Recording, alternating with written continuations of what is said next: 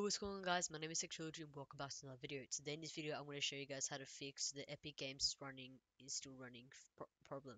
So um this problem happens when like you play Fortnite and you just in a situation where you want to delete Epic Games but um you can't delete it because it keeps saying that it's still running in the background.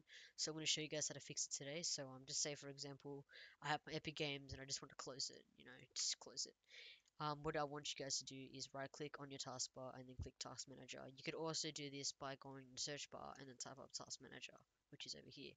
But um, I like to do it like this because it's easier. Alright, let's get to the point. So what you guys want to do is scroll all the way down until you find Epic Games Launcher.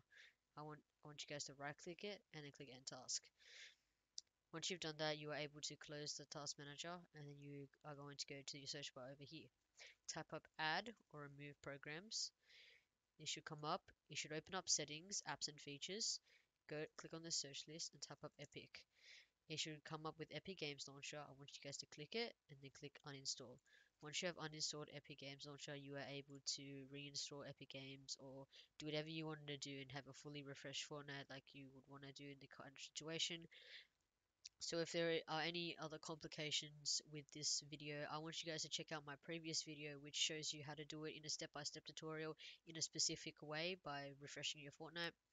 And um, yeah, if there are any other complications, please type it down in the comments below. And um, yeah, uh, remember to subscribe to my channel because I do tutorials and how-tos and crash fixes every single day. And um, also click on notification so it notifies you to do it. Um, hit the like button and uh, comment if you have any other problems. So uh, yeah, my name is Tech Trilogy and I'll see you guys in the next video.